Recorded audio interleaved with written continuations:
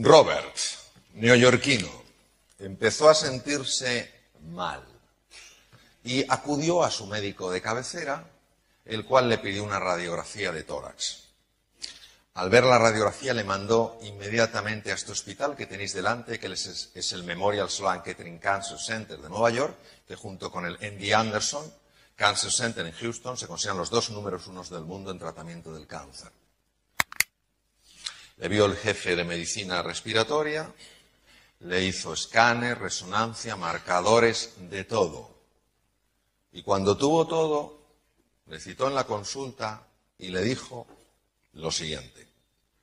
Tiene usted un carcinoma de pulmón con este tipo celular y en este estadio, es decir, en este grado de evolución.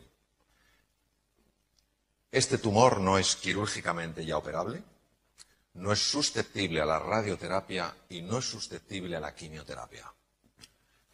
Era el diagnóstico que había. No gustaba, pero era el diagnóstico. Pero aquí fue donde el médico no le dio un pronóstico, le dio un veredicto. Le dijo, tiene usted tres meses de vida. Robert le dijo, doctor, acepto su diagnóstico, no acepto su veredicto. Tengo demasiadas cosas que hacer. Yo me imagino que esta persona, este médico prestigioso con un montón de conocimientos y una profunda ignorancia sobre el factor humano, se reiría para sus adentros diciendo otro iluso. Robert no pudo recibir ningún tratamiento porque era un tumor maligno, no susceptible a ningún tipo de intervención, ni de radio, ni de quimio, ni de cirugía. Robert vivió tres años, con muy buena calidad de vida, y lo sé porque su íntimo amigo era un grandísimo, es un grandísimo amigo mío y me fue teniendo al corriente de todo. Hizo todo lo que tenía que hacer. El tumor estuvo quieto durante tres años. Algo que a la ciencia médica le cuesta entender y a veces asumir que esto existe.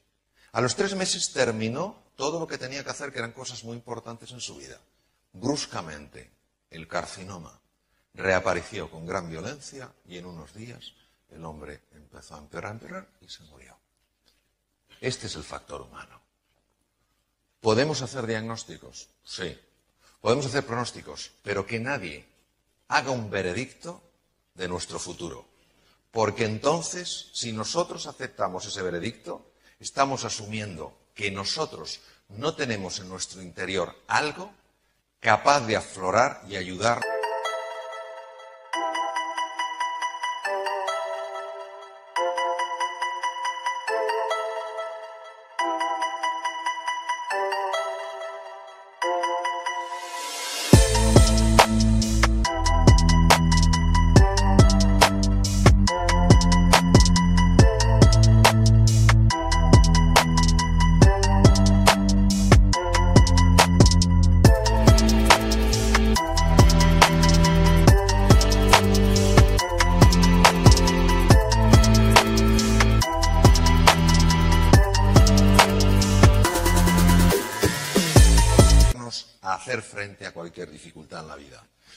Seguridad? Todos lo sabemos.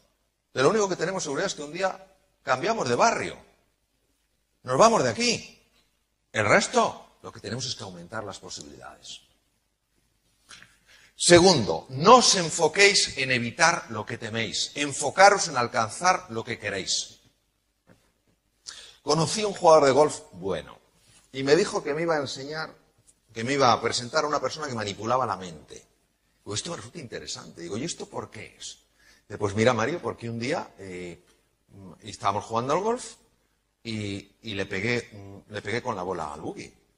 Digo, pero a ver, explícame la situación. Pues mira, iba con mi amigo y nada, llegamos al, al tee de salida y estaba pues el buggy pues, pues como allí, mi amigo aquí y yo estaba aquí y el green con la bandera estaba allí. Y estaba yo tan tranquilo apuntando a la banderita. Y va mi amigo y me dice, ¿qué le vas a dar al buggy? Y digo yo, ¿pero cómo le voy a dar al buggy? Si el buggy está allí y la bandera está allí. ¿Qué le das al buggy? Pero qué pesadito eres. ¿Pero cómo le voy a dar al buggy si el buggy está allí y la bandera allá? Tercera vez, yo te he avisado, ¿eh? Mira que le das al buggy. Oye, mira, tú sabes el pedazo de jugador que soy.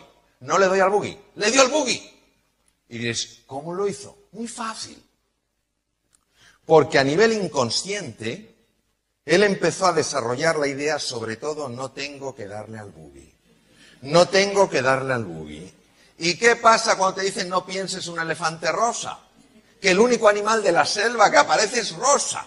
Y es elefante.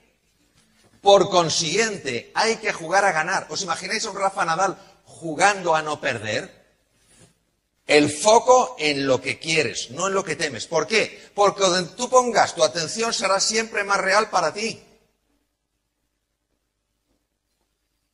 Llega alguien nuevo a la empresa. Dice, ¿has visto el defectillo que tiene este? Sí. Al día siguiente, oye, ¿te has fijado este defectillo? Nada, ¿eh? Esto es un defecto, ¿eh? Y tanto. Y al siguiente día, oye, este es defectuoso, ¿eh? Ah, desde luego. Donde pongas la atención será más real para ti. Si juegas a perder, la posibilidad de perder es mucho mayor. Si juegas a ganar, la posibilidad de ganar es mucho mayor. Y os voy a mostrar hasta qué punto el foco tiene importancia. Cuanto más complejo es el exterior, más enfocado tienes que estar en lo prioritario. Os voy a poner una pequeña peliculilla. A ver qué veis.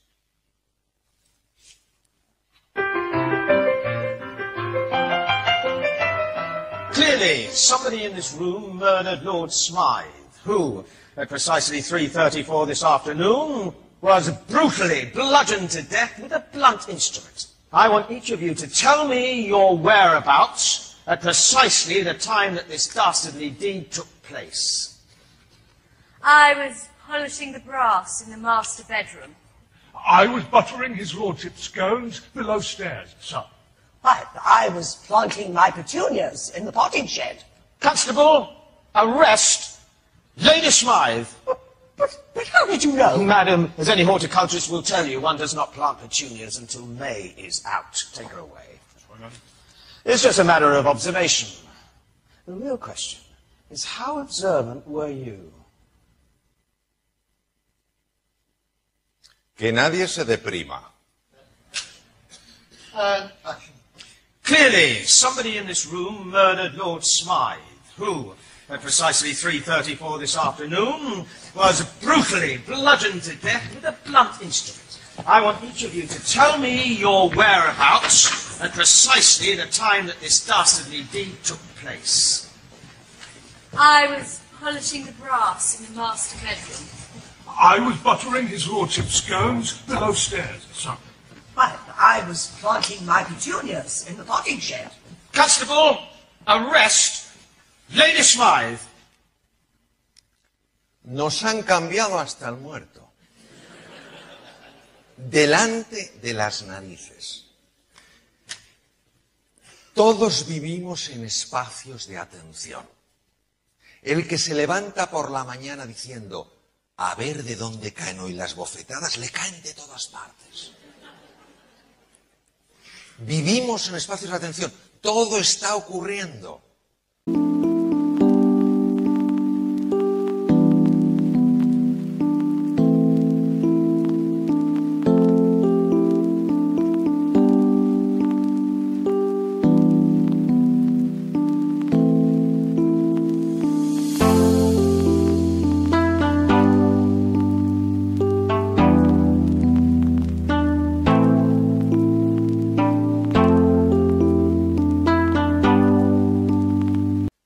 Eso, ser vosotros y por los gestores de la atención, estar constantemente buscando la oportunidad, buscando la posibilidad, buscando qué podéis mejorar, qué falta que vosotros podéis suplir, buscar constantemente, porque os ayudará esta estructura maravillosa que se llama sistema reticular activador ascendente. ¿Y qué es el que hace lo siguiente? Cuando una dama está embarazada y en el mismo momento en el que se entera que está embarazada, ¿qué empieza a ver por la calle? Embarazadas. Y cuando te quieres comprar un coche nuevo, una moto nueva, de un color raro, ¿qué empiezas a ver por la calle? Lo mismo. El sistema reticular activador ascendente es como una luz, enfoca aquello que te interesa. Por eso, si estamos constantemente hablando de problemas, de dificultad, ¿a dónde nos va a enfocar? Pues todo el rato los problemas. Todo el rato a los problemas. El liderazgo hoy en día no es un tema de resolver problemas, sino de inspirar, de hacernos soñar con posibilidades y hacernos entender que tenemos capacidad para alcanzarlas. Mirad, podemos estarnos perdiendo grandes oportunidades. Siguiente, cuando la vida nos desafía tenemos que atrevernos a salir de nuestra zona de confort y desplegar nuestra capacidad de cooperación. Si no cogemos el teléfono y llamamos a algunos de nuestros competidores y les decimos, oye, tú y yo competimos en cierta área, pero ¿en cuál área? ¿En qué área podríamos cooperar? Si no buscamos la cooperación, esto va a ser mucho más complejo. Hay que buscar constantemente la cooperación. Es el momento de sustituir intereses particulares por un ideal común. Es fácil, nadie está diciendo que esto es fácil. ¿Es posible? Desde luego. Esto es lo que es la sinergia. Oxígeno e hidrógeno crean algo especial, el agua. Mirad.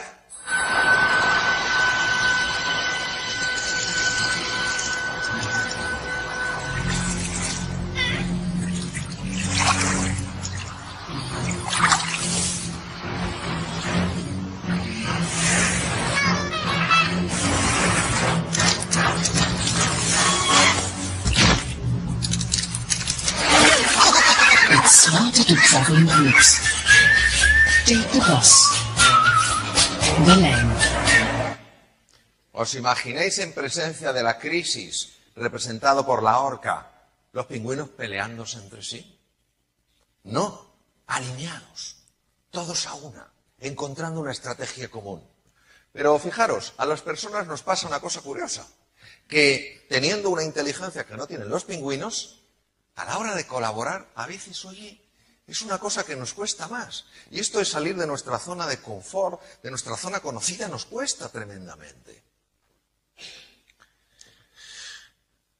La zona de confort es una zona donde podemos predecir lo que va a ocurrir, pero en la zona de confort no hay crecimiento y evolución. Y aunque fuera de la zona de confort nos parezca que solo hay oscuridad, es fuera de la zona de confort donde está la gran oportunidad. Tenemos que atrevernos a hacer cosas que nunca nos hemos atrevido a hacer. Mirad, yo soy, yo soy ya de la vieja escuela. Yo tengo ya 56 años. Y soy de una generación donde desde jovencitos nos decían grandes cirujanos, grandes incisiones. ¿Os gusta la idea? Recuerdo una vez operando a una mujer muy jovencita, tenía que quitarle la vesícula porque tenía cálculos, una vez tenía colitiasis, yo era residente, como era muy delgadita y no estaba inflamada la vesícula, en fin, era una cirugía en principio muy sencilla, le hago una incisión cortita. Y el adjunto con el que está me dice, amplía. Y digo, yo no, yo es que veo, veo bien de aquí. Recuerdo que me miré y me dijo, grandes cirujanos, grandes incisiones. ¿Qué hice yo? Amplié. Luego, ¿qué es lo que le dolía a la dama? Le dolía la ligadura del cístico, de la arteria cística, le dolía la incisión. Y de repente aparece, os hablo hace muchos años, un nuevo tipo de cirugía. Se llama cirugía laparoscópica. Operas desde fuera. No puedes meter la mano en el interior de la cavidad abdominal. Un cirujano tiene que tocar. Porque nuestras manos se convierten en ojos. Y ahora estás fuera. Uh. Encima, ya no ves en tres dimensiones. Oye, nos gusta todo ver en profundidad, que sí. Pues estás delante de una pantalla de televisión mirando. Y además, el instrumental que te dan es muy raro, porque tú lo mueves para acá y como está eh, apalancado en la pared abdominal, la punta se mueve para el otro lado. Bien. Entonces, claro, la zona de confort era grandes cirujanos, grandes incisiones. Digo, Oye, pues mira, esta cirugía laparoscópica puede ser un cambio, porque claro, dicen que se puede ir al día siguiente, a los dos días en casa, a, a su casa. Y entonces digo, pues aquí hay que, hay que, aprender bien. Caja de metacrilato. Arriba, o sea, la parte de arriba era de goma. Ahí pinchabas los trócares y tal, con la cámara de televisión mirando, y poníamos una monedita. Y con las pinzas intentábamos coger la monedita mirando la pantalla. No sabéis lo que era eso. La monedita tenía ruedas. Oye, pero si yo la tenía. ¿cómo? Un día, por la noche, soñé que estaba operando en la cajita y cogía la monedita. No sabéis, fue un periodo de éxtasis en mi vida. Ya era diestro con la monedita y ahora tenía que pasar al animal de experimentación, el minicerdo. Me voy a trabajar la paroscopia con el minicerdo y estábamos, cada mesa operábamos tres minicerdos y estábamos tres cirujanos. Un catedrático de un hospital, yo estaba aquí, que era de otro hospital, y un residente de otro hospital. Y llega mi primer, el primer minicerdo que me tocaba a mí. Y yo, como era bueno con la monedita, yo estaba subido tono. Digo, estos se van a enterar de lo que es operar bien un minicerdo. Y empiezo y le digo al catedrático, tire más de la vesícula, por favor. Y yo diciendo, estos están quedando alucinados. Yo, pum, pum, y digo, la vesícula fuera. Y de repente el minicerdo hace y casca. Y yo no daba crédito. Y digo, no lo entiendo. No lo entiendo. La vesícula ha salido impecablemente. Yo echando la culpa al minicerdo, claro. Y va el catedrático y dice, me dice, me llamándome usted, me dice, observe que junto con la vesícula va el duodeno. De esto de tierra, trágame. Llega siguiente minicerdo, que le correspondía al catedrático. Coge el catedrático, el trócar, hace así, ya, y directamente, como excelente matador, le mete el trócar en la vena cava. El minicerdo duró un nanosegundo. Yo me imagino que los minicerdos no querrían pasar por nuestra mesa. Bien, el único que operó bien era el residente. Esto era estar absolutamente fuera de la zona de confort. Era duro, te sentías que tenías que aprender algo nuevo, te sentías torpe y ¿por qué si antes lo dominaba? Es lo que nos toca.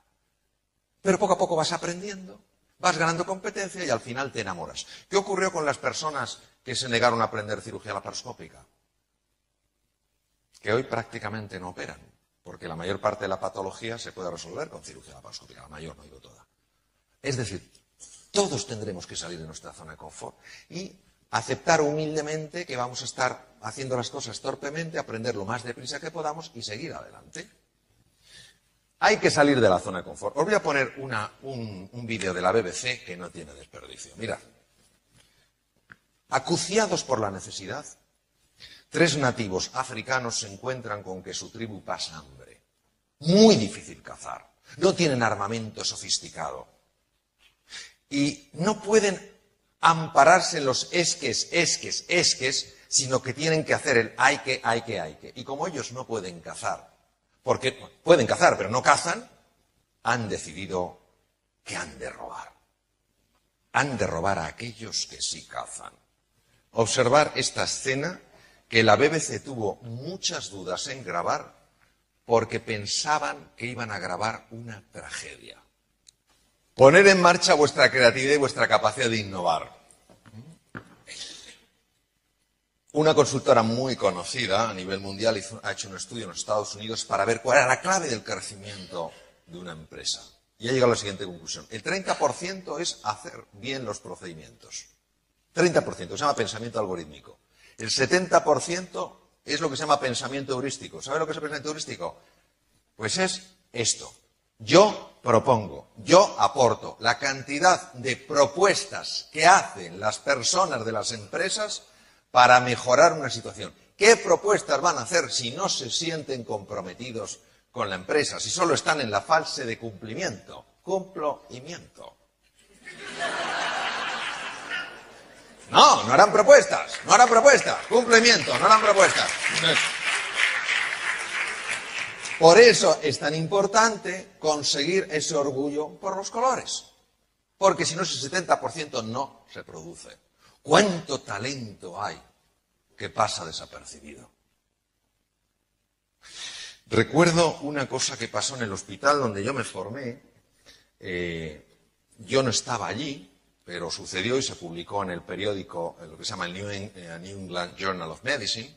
Pasó lo siguiente, había un chico joven que estaba ingresado en cuidados intensivos y tenía unos picos febriles tremendos. Tenía episodios de sepsis, el chico empezaba con una tiritona horrible, le habían hecho todo tipo de estudios, habían aislado una rickettsia, que es un microorganismo, pero no encontraban el foco. Escáneres, resonancias y todo, no encontraban el foco. Un día pasó el catedrático de medicina interna, pues con toda su cohorte, pasaba pues el, je- el- el jefe de sección, los, adjuntos, eh, residentes de medicina interna, y había un interno. El interno es la persona que ha acabado la carrera de medicina y antes de decidir por hacer una especialidad, hace un año donde va rotando por los diversos sitios. Entonces el catedrático preguntó por el chico y le contestaron pues que, pues que seguían, estaba con antibióticos, que no sé qué tal cual, pero que no, no conseguían encontrar el foco. Y de repente él, el interno, dice lo siguiente. ¿Le ha mirado alguien detrás de las orejas? Claro, vosotros sabéis que a veces cuando alguien hace un comentario así puede pasar un fenómeno curioso, que nadie lo oye. Una cosa curiosa. O que a lo mejor se oye y se mira diciendo, ¿y este quién es? Pero en este caso el catedrático valoró la opinión del interno y dijo, ¿alguien le ha mirado las orejas? ¿Por detrás de las orejas? Pues no, no se nos ha ocurrido. Fijaros, oreja derecha nada, oreja izquierda, encontraron una garrapata. Era el origen de la riqueciosis. ¿Cuánto talento desperdiciado? Porque algunos se sienten que a lo mejor no son quienes para dar una opinión y otros tampoco se les ocurre que una opinión tan valiosa pueda llegar desde ahí o pueda venir desde ahí. Una cosa muy importante sobre el tema de la creatividad. ¿eh? La clave es qué os hace ser más creativos. Y sabemos, sobre todo a raíz de los estudios de Teresa Mavil, que es catedrática de psicología en la Universidad de Harvard, que la clave para la creatividad, ¿sabéis cuál es? El entusiasmo y la pasión. La creatividad es hija de la pasión. No de un frío razonamiento, sino de estar enamorado por un proyecto, por una idea, por algo. Mirad, nosotros vamos a triunfar. Todos los que estamos aquí vamos a triunfar y vamos a ayudar a, otras- a- a que otras personas triunfen. Pero ¿sabéis por qué vamos a triunfar? No porque tengamos una bolita de cristal, sino porque estamos determinados a hacerlo. Os voy a contar otra historia que para mí ha jugado un papel muy importante en mi vida. Este era un joven eh, norteamericano que trabajaba como dibujante en un periódico de Nueva York.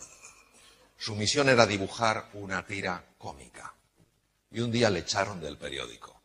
Y él quiso saber por qué le echaban, porque no había ningún ERE, no había nada. ¿Por qué me echan? Dice, no, se vete a hablar con el director. Fue a hablar con el director y le dijo, quiero saber por qué me despide usted. Dice, pues mira, porque te está observando y tú tienes algo, en fin, tú careces de imaginación.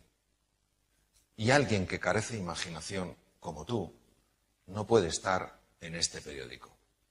En ese momento, y esto es un hecho histórico, esto le sacudió profundamente a la persona y tomó una decisión, una firme resolución. Fijaros qué dificultad tenemos para reconocer el talento que se sale de la norma, la persona que fue despedida por falta de imaginación en el Walt Disney. Tenemos que ser inasequibles al desaliento. Tenemos que aguantar el dolor. Yo sé que hay mucho dolor. Yo estoy en contacto con el dolor físico, 26 años. Muchos enfermos sufriendo. Y tenemos que entender que esta época es una época de esfuerzo, de avanzar en el desierto, de aguantar el dolor y de seguir manteniendo la esperanza de que lo mejor está aún por llegar. Mirad, nunca sabemos dónde va a aparecer la oportunidad. Y como no lo sabemos, tenemos que dejarnos la piel en cada cosa que hagamos. Os voy a poner un ejemplo. Os voy a poner a una de las criaturas más formidables que existen en el mundo. Es el felino más grande. Y dentro de estos felinos os voy a mostrar a uno que es el tigre de Bengala. Todo lo que hemos visto son historias de éxito. Un tigre de Bengala, en su intento para batir un ciervo rojo, de 10 intentos fracasan 9. Pero él no sabe en cuál de esos intentos tendrá éxito. Por eso se tiene que dejar la piel en todos. Es súper frecuente que cuando algo no nos sale, cuando, alguien, cuando, cuando cometemos un fracaso, nos hundamos. Imaginaros si el tigre de Bengala, uno de los felinos más formidables que hay, por no cazar un ciervo rojo se hundiera. Él sabe que antes o después lo cazará, pero tiene que poner la misma ilusión, el mismo empeño, el mismo compromiso una y otra vez. Por eso decía Winston Churchill, el éxito es la habilidad de ir de fracaso en fracaso sin perder entusiasmo. Fácil, no. Necesario, sí. No aceptemos la manipulación. Os voy a explicar el impacto en el cerebro de los mensajes negativos cuando los hacemos nuestros. Mirad, cuando una persona, cualquiera de nosotros, se deja envolver por la culpa, empieza a buscar culpables, el típico chivo expiatorio, y se queda ahí anclada. ¿Quién tiene la culpa? Yo estaba bien, no sé qué. Si no digo que no tenga razón, pero vamos a ver el efecto que tiene en ti eso. O cuando empiezas a angustiarte. ¿Qué es la angustia? La angustia es un miedo inespecífico. Estás angustiado pero no sabes a qué. O cuando nos desesperamos. No hay salida de aquí hasta dentro no sé cuántos. O cuando nos sentimos impotentes. Yo, pero yo qué voy a poder hacer ante la magnitud del desafío. Sabemos que hay cambios muy importantes en el cerebro humano que han sido fotografiados, bueno, fotografiados, han sido medidos con resonancia funcional magnética. ¿Qué cambios son estos? La zona anterior del cerebro, la región prefrontal, básica en los procesos de análisis, básica en la toma de decisiones, básica en el aprendizaje y básica en la creatividad, recibe menos sangre. Hay un robo de sangre de la zona prefrontal. Como consecuencia de eso, al irse la sangre de las zonas más periféricas del córtex cerebral a zonas más profundas, las neuronas responsables de encontrar una salida en medio del desafío funcionan peor. Ves menos salida. Piensas con menos claridad, tomas peores decisiones, aprendes más lentamente, eres menos creativo, menos creativa. Este proceso llamado neuroplasticidad, que ya lo intuyó Cajal, que ganó el premio Nobel en 1906, sabéis que Cajal nació en Petilla de Aragón, provincia de Navarra, Cajal ya lo dijo, todo ser humano se lo propone pues es escultor de su propio cerebro. Sabemos que cuando caemos en estas conversaciones disfuncionales, suben los niveles en el cerebro de glutamato y los niveles en sangre de cortisol y también en cerebro. Este efecto combinado dificulta, impide, bloquea la formación de nuevas conexiones neuronales y además evita que células madre, que están al lado de las cavidades cerebrales, no dentro, fuera, vayan a los hipocampos, centros de la memoria y el aprendizaje y se conviertan en nuevas neuronas. Fijaros cómo la actitud tiene un impacto en lo físico. Entonces nos volvemos irascibles, eh, nos aislamos, nos bloqueamos, todo consecuencia de habernos dejado envolver por un pesimismo generalizado, que no es una huida de la realidad, es pensar que la única realidad es lo que está mal. Hay cosas que están bien. Hay cosas que funcionan bien. Pongamos un poco de equilibrio, un poco de balance. También sabemos que afecta al sistema de defensa del cuerpo. La secreción intensa y sostenida de cortisol propia de los estados de desesperanza, de los estados de angustia, de los estados de depresión, afecta al sistema de defensa del cuerpo. Os voy a poner, voy a pasar directamente a poneros un ataque de un glóbulo blanco a una bacteria en sangre humana, veréis. Vamos a pasar directamente a la sangre humana. Observad el glóbulo blanco detrás de la bacteria. Y mirad cómo se quiere escapar la bacteria. Esa membrana que rodea el glóbulo blanco en realidad es el cerebro del glóbulo blanco. El núcleo no es el cerebro, es la membrana. Es muy susceptible a varias hormonas. El cortisol, cuando se acopla al glóbulo blanco dificulta su funcionamiento. Por eso es una de las razones por las que se utilizan los corticoides en los trasplantes para evitar el rechazo. Pues los estados de desesperanza, de ira, de frustración mantenidos en el tiempo bloquean estas células. Y es más fácil coges un catarro, coges una gripe, etcétera, etcétera. Por eso, no nos conformemos con reaccionar, respondamos. Y no dejemos que nadie decida por nosotros lo que podemos alcanzar. Voy a terminar poniéndoos un pequeño vídeo de dos personas que en principio parecería imposible que pudieran hacer realidad su sueño. Ellos tenían el sueño de ser bailarinas, pero algo para mucha gente impedía por completo que hicieran realidad su sueño. Imaginaros el coraje, la determinación, la confianza, las ganas que hay que tener para lograr lo que vamos a ver ahora. Eh, me gustaría despedirme de vosotros y de vosotras, mm, Primero, con, con franca gratitud por mi parte vuestra atención y con unas palabras del premio Nobel Camus. Camus dijo lo siguiente, en medio del duro invierno descubrí al fin que dentro de mí hay un ser invencible. Gracias.